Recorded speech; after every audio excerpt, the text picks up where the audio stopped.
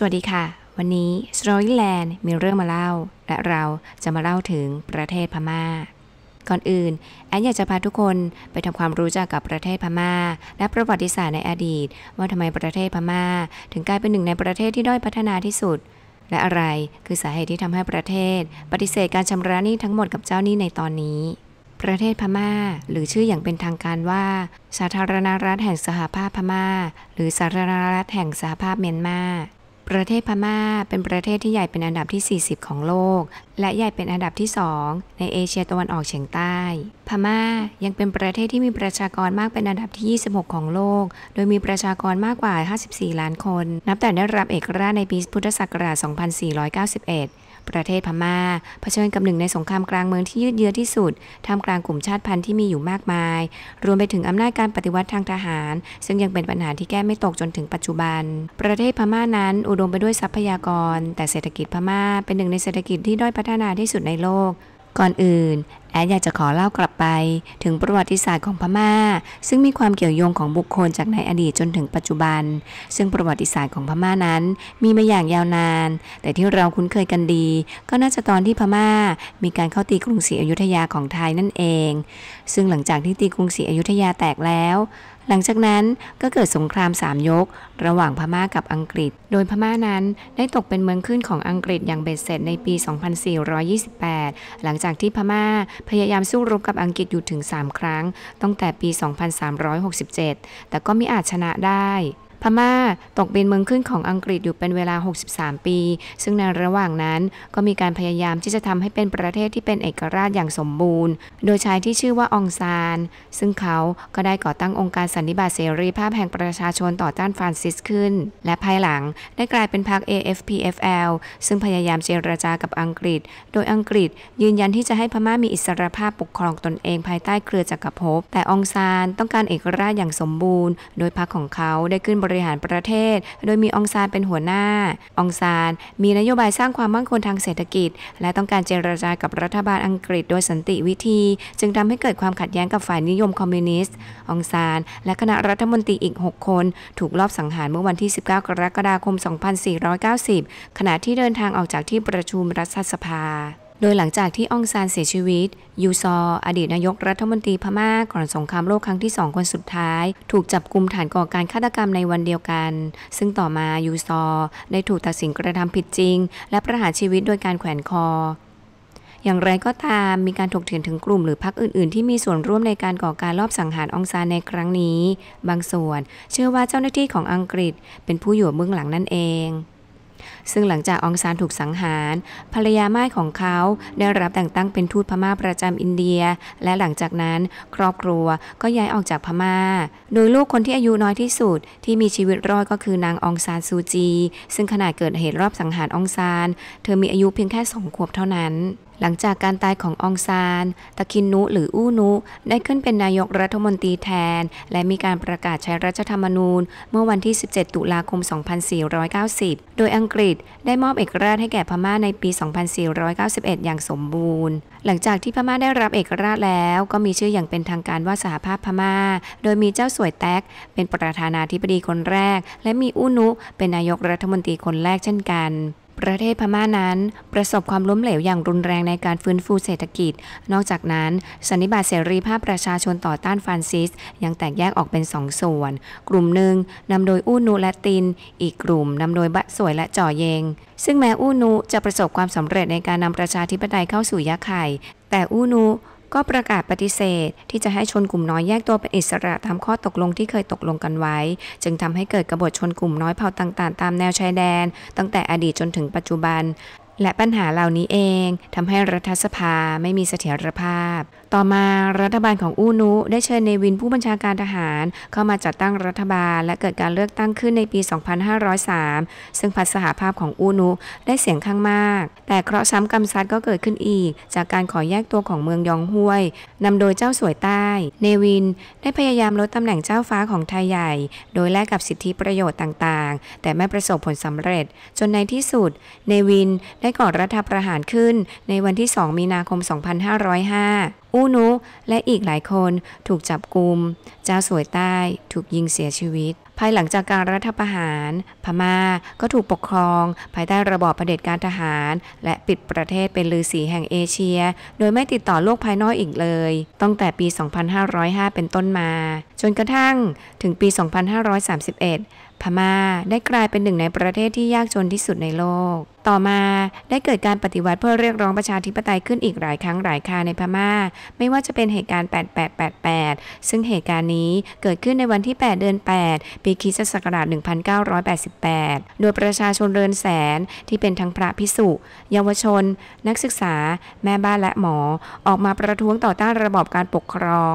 รัฐบาลได้มีคำสั่งให้สลายฝูงชนด้วยอาวุธนะคะทำให้มีผู้บาดเจ็บและเสียชีวิตจำนวนมาก โดยเราเชื่อว่าผู้เสียชีวิตนั้นมีร่วมหมื่นคนเลยทีเดียว และมีการสูญหายอีกเป็นจำนวนมากจากปฏิบัติการทางทหารระหว่างการก่อการปฏิวัติ สุดท้ายแล้ว เหตุการณ์จบลงเมื่อเดือนตุลาคม เมื่อขบวนต่อต้านได้สลายตัวไป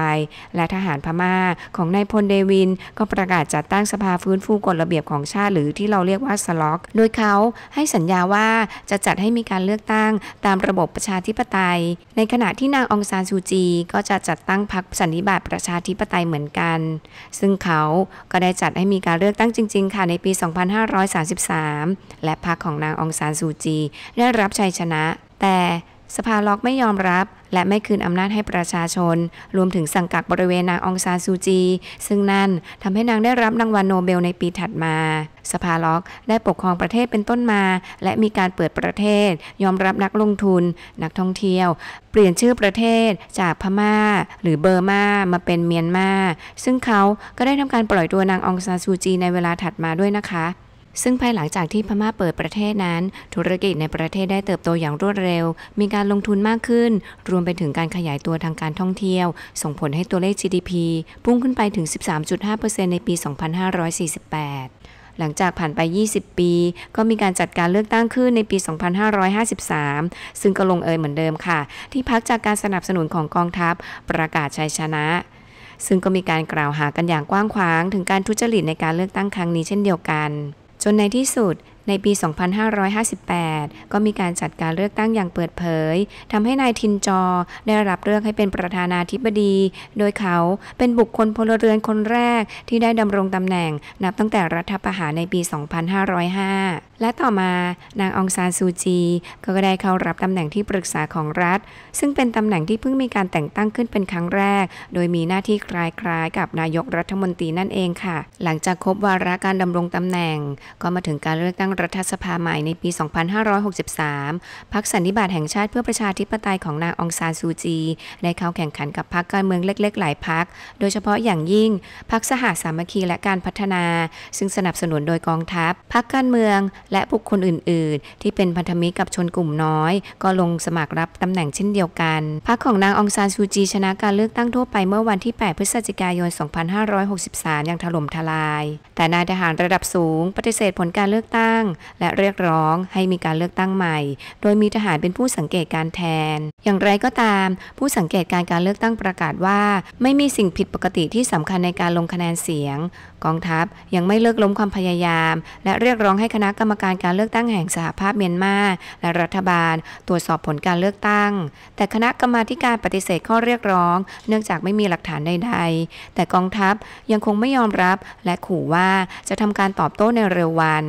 และนั่นก็ทำให้เกิดรัฐประหารขึ้นในประเทศพม่า เมื่อตอนเช้าในวันที่ 1 กุมภาพันธ์ 2564 เมื่อนางองซานซูจีที่ปรึกษาแห่งรัฐ ประธานาธิบดีวุงมยิง และผู้นำอื่น ๆ ของพรรคสันนิบาตแห่งชาติเพื่อประชาธิปไตย ถูกทหารพม่าควบคุมตัว หลายชั่วโมงต่อมากองทัพพม่า ประกาศสถานการณ์ฉุกเฉิน และแถลงว่ามีการถ่ายโอนอำนาจให้แก่พลเอกอาวุโสมึงออนไลน์ผู้บัญชาการทหารสูงสุด และทหารได้ประกาศออกสำนักข่าวเมียวดี โทรทัศน์ที่ตนควบคุมว่าจะเข้าควบคุมประเทศเป็นเวลาหนึ่งปี และมีการปิดพรมแดนจำกัดการเดินทางและการสื่อสารทางอิเล็กทรอนิกส์ทั่วประเทศ กองทัพประกาศว่าจะแทนที่คณะกรรมการการเลือกตั้งที่มีอยู่ด้วยคณะกรรมการชุดใหม่ และสื่อทางการทหารระบุว่า จะมีการเลือกตั้งใหม่ภายใน 1 ปี แม้ว่ากองทัพจะหลีกเลี่ยงกันให้คำมั่นอย่างเป็นทางการก็ตาม ซึ่งที่ปรึกษาของรัฐ องซานซูจี และประธานาธิบดีหวุนมียิง ถูกกักบริเวณในบ้าน ผู้นำทางทหารโดยกลุ่มของมึงออนไลน์ ยังคงขยายกฎอายการศึกไปยังพื้นที่อื่น ๆ ของย่างกุ้ง ในขณะที่กองกำลังรักษาความปลอดภัย ได้สังหารผู้คนไปแล้ว 38 คนในวันเดียว ในวันที่ 2 ของการทำรัฐประหาร มีผู้ประท้วงหลายพันคนเดินขบวนตามถนนในเมืองใหญ่ ๆ การรัฐประหารถูกประนามโดยทันทีโดยเลขาธิการสหประชาชาติ และผู้นำของประเทศประชาธิปไตย รวมถึงประธานาธิบดีโจไบเดนแห่งสหรัฐอเมริกา รวมถึงประเทศในกลุ่มยุโรปตะวันตก และชาติประชาธิปไตยในเอเชียตะวันออกเฉียงใต้และอื่นๆทั่วโลกที่เรียกร้องหรือกระตุ้นให้ปล่อยตัวผู้นำเฉลย และหวนคืนสู่ระบอบประชาธิปไตยในทันทีซึ่งจากเหตุการณ์ในครั้งนี้ ประเทศสหรัฐอเมริกาได้ขู่คว่ำบาตรกองทัพ และผู้นำรวมถึงการระงับทรัพย์สินมูลค่า 1,000 ล้านดอลลาร์สหรัฐ และจากสาเหตุนี้ทำให้ค่าเงินจาดนั้นอ่อนค่าลงไปถึง 1 ใน 3 หลังจากที่เงินตาต่างประเทศที่เป็นทุนสำรองของพม่าซึ่งถูกเก็บไว้ที่สหรัฐ ได้ถูกระงับการเบิกถอน นอกจากนี้ยังถูกระงับความช่วยเหลือจากต่างประเทศ ซึ่งเป็น 2 แหล่งหลักที่นำเงินตาต่างประเทศให้พม่า หลังจากมาตรการคว่ำบาตรอันนี้ซึ่งตอนนี้พม่าได้ถูกจับตามองว่ากำลังเข้าสู่ภาวะล้มละลาย หลังจากผู้นำประเทศได้สั่งให้ธนาคารรายย่อย งดจ่ายหนี้ต่างชาติเมื่อวันที่ 13 กรกฎาคม 2565 ที่ผ่านมา พร้อมประกาศให้บริษัทเอกชนที่มีสัดส่วนต่างชาติถือหุ้นมากกว่า 35%ต้องแลกเงินมาถือเป็นเงินสกุลเงินท้องถิ่น ซึ่งก็คือเงินจัดนั่นเองค่ะและธนาคารกลางของพม่ายังสั่งให้บริษัทเอกชนและผู้กู้ที่เป็นบุคคล ระงับการจ่ายหนี้ทั้งเงินต้นและดอกเบี้ย แก่เจ้าหนี้ต่างประเทศอีกด้วย เพื่อป้องกันเงินทุนไหลออกจากประเทศ เพื่อรักษาปริมาณเงินทุนสำรองต่างประเทศที่ลดลงกว่า1ใน3และรักษาเสถียรภาพของเงินจัดพม่าไว้